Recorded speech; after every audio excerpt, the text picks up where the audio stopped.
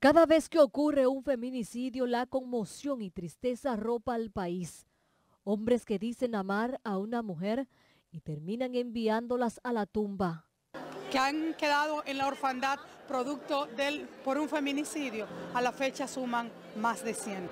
El mayor drama repercute en los niños, quienes quedan huérfanos y en muchos casos a su suerte. Fecha, el año pasado teníamos 65 y en el momento tenemos 60.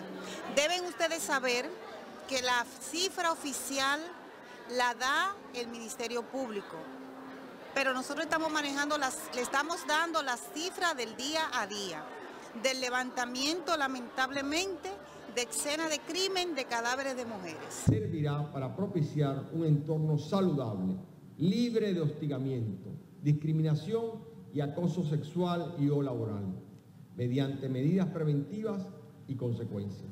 Este flagelo sigue descontrolado y desde el Poder Judicial buscan eliminar la violencia y acoso que también se ejerce en materia laboral. En un acto conmemorativo, la eliminación de la violencia contra la mujer, también se informó que 10 damas de nacionalidad haitiana han sido víctimas de feminicidios en el país y cuatro menores de edad. Elvania Flores, Noticias, Telemicro.